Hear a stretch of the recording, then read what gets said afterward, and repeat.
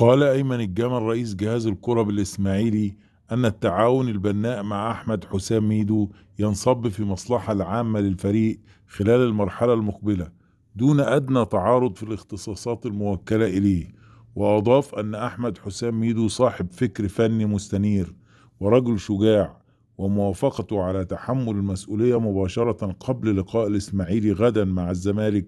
شيء يستحق التقدير عليه. وأشار رئيس جهاز الكرة بالإسماعيلي إلى أن هناك تقرير سلمه بين يدي أحمد حسام ميدو عن الفترة التي قاد خلالها الفريق فنيا للاسترشاد بها تتعلق باللاعبين الذين شاركوا أساسيين أو بدلاء في اللقاءات الرسمية السابقة.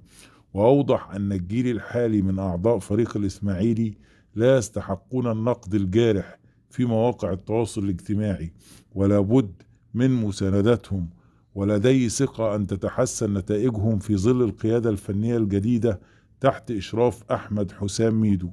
وأكد أن لقاء الزمالك صعب وليس سهل لكن أحمد حسام ميدو يراهن على سلاح الروح القتالية في شحذ همم اللاعبين بجانب التوجيهات الفنية التي يلقنها لهم. وتعاهد لاعبو الإسماعيلي في جلستهم مع المسؤولين بالنادي ومدربهم الجديد أحمد حسام ميدو بذل قصارى جهدهم لتقديم عرض كروي مشرف في مواجهتهم المهمة مع الزمالك.